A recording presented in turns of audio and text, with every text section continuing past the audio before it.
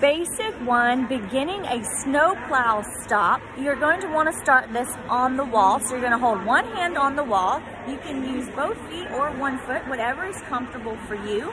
Most people generally do one foot. I like my right foot, so I'm going to pretend to hold the wall with my left hand. And I'm going to use the inside edge, which is towards my big toe with my right foot, and push out.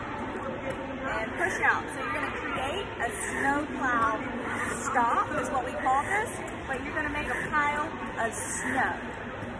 So you really wanna be on that inside edge towards your big toe and pushing out with the foot that you use against the ice. So you're cutting against the ice.